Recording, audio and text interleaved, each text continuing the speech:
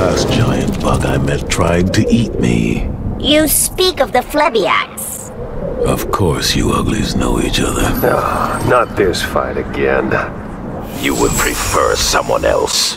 Hell, I'd fight a goddamn space cowboy. So you were to defeat Shinnok? What is with people? Is it so hard to believe? Yes, you should have been Grand Master. I You're worse than Kuai Liang.